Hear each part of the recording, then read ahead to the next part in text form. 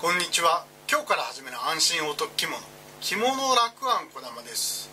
えっ、ー、と今日は、えー、初心者でも、えー、着崩れしにくい、え着崩れしない、え浴衣の着方ということについてお話をさせていただきたいと思います。えっ、と今日ちょっと一応用意させていただいたのはまあこういうような既製品の浴衣ですね。サイズがあの自分の体に合ってない既製品の浴衣を着る時に、えー、どうしたら着崩れしにくいかということについてお話をさせていただきたいと思います。で、えー、まず浴衣ですので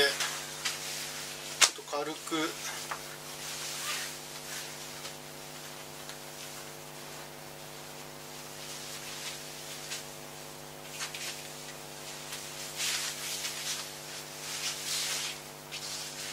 まあ浴衣ですので、えー、気持ちがいいためには、えー、朝の半襦袢とかを着ていいんですけど今日はこういうあの肌着と、えー、下にこう朝の捨ててこだけ履いてます。で一応あの今日はもうこういう朝の着物から着替えたので、えー、下はえー、本藍染めの足袋を履いてますけど、えー、当然浴衣なんで素足でも構いません。素足でも構いませんし、えー、朝の足袋とかを履いていただいても結構だと思います。でまずこうして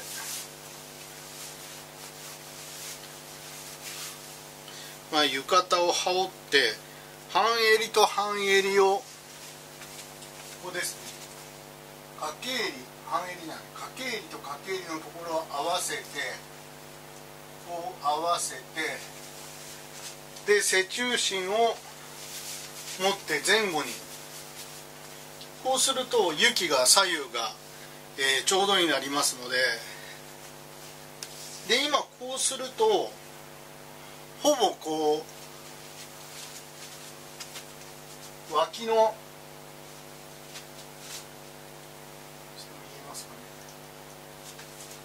こんな感じで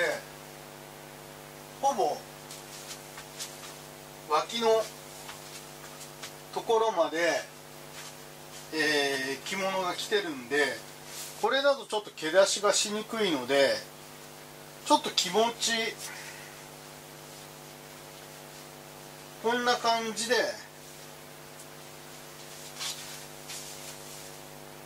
裏側にちょっと身幅が広い場合は折り返してあげて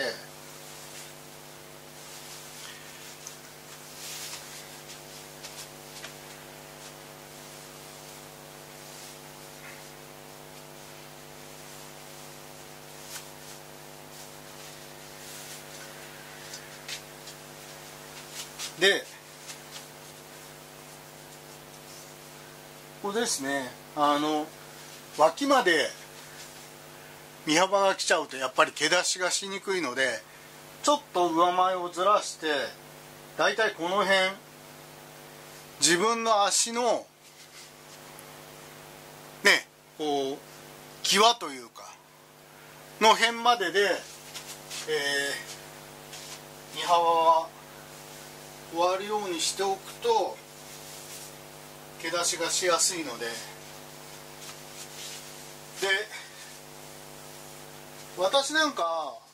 あのそのまま加工帯締めちゃうんですけど、えー、やっぱり着崩れしないためにはまあいろいろこうマジックベルトみたいなものもあるんですけど一番いいのはこういう無双の伊達締めといって2枚合わせをした、えー、もので作った伊達締めですね。こんなもので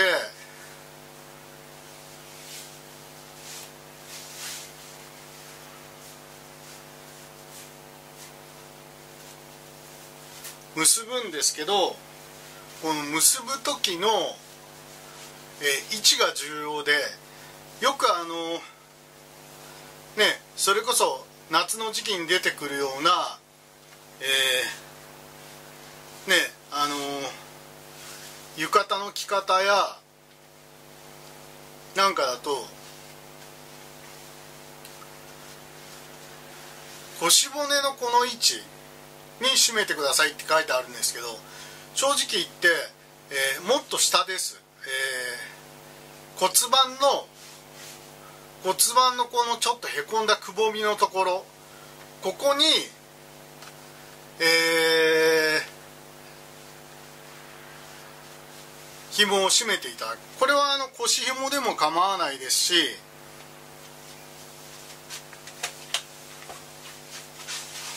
あのベルト式のものでも構わないです。ここの位置というのが大事です。ただやっぱりこう着崩れしないためには、まあ、こうした無双の伊達締めがいいんじゃないかなと。で、えっと、浴衣の時期だと汗もかきますので、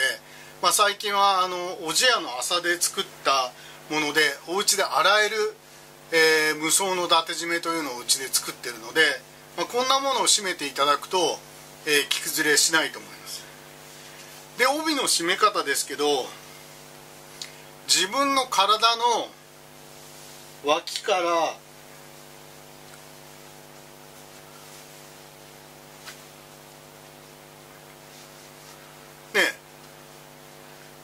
体側と言いますけど体の脇からだいたい手1個分ぐらい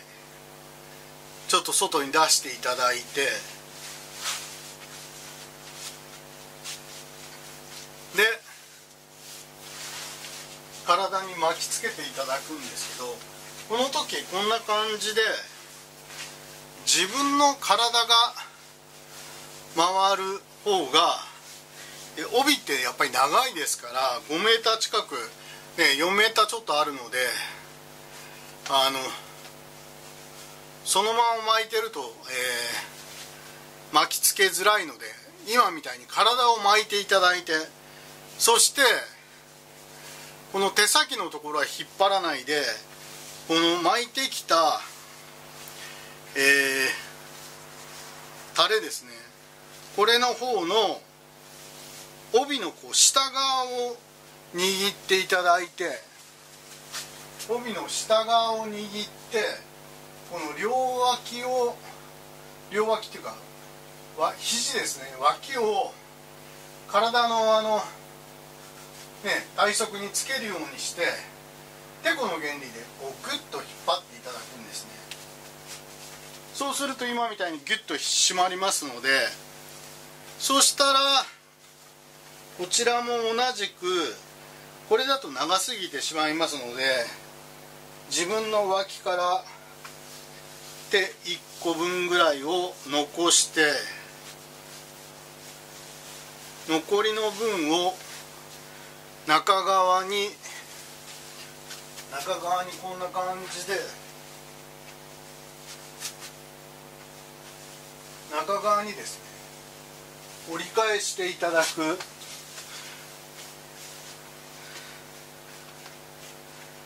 そしてこの手先を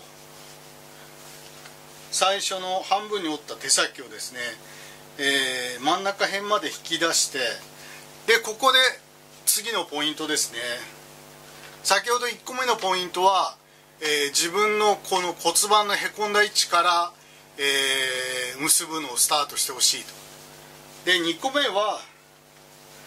えー、この幅の広い方を細い方の上に乗せるようにしてそして一結びして縦にこうグッとするともう緩みませんからそして自分の手のひらにこうかけるようにちょっとくの字にしてここの間にここですね。ここの間にこの半分にした手先をぐっと入れてで軽くちょっとグッと引き締めて。そして自分のこう着崩れしないように自分のえー、右回りですね。に回していただいてそして後ろまで回ったらばちょっと背中心を持って帯をちょっとグッと上げていただいてで横から見ると前が下がって後ろがこうグッと上がったような感じが大事です。で、えー、こうやってあの巻き終わるとちょうどこの帯の下の位置が、えー、男性だと自分の大事なところの付け根の位置ぐらいの低い位置で締めることが、えー、大事です。これをあの骨盤の位置で締めてしまうと、えー、帯がグッと上がっちゃうんですね。特に若い人で、えー、お腹の出てない方なんかはなおさら上がってしまいますのでその点だけを気をつけていただいて。でこんな形で着上がりですね。で先ほども言ったように浴衣というのはあの綿でできているのでどうしてもこう汗は吸い取るんですけどベタベタしやすいんですね。なのでさっきみたいな、えー、さらっとした肌着と、えー、まあ私の場合はこういう麻で捨ててこう作ったものを着てるんですけどまあそうすると足のこう股の位置とかベタベタしなくてすごく気持ちがいいです。でまあ持ち物は、えー、簡単な巾着と。で履物は夏の場合は下駄。でもいいと思いますしちょっとこう稲瀬に、えー、ちょっと行きに来たい人なんかはえー、セッタを履いていただいてもいいと思います。まあこんな形で、えー、寸法が合ってない着物でも着上がる、あのー、